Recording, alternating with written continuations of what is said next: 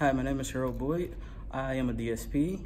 Um, some of the things that I enjoy about my job is being able to help the residents, being able to be a friend, um, a partner, a mentor. Um, some of the challenges that I face currently in my role as a DSP is just getting other staff members to stay engaged, um, just trying to support them and help them be able to support the residents and guests that we serve.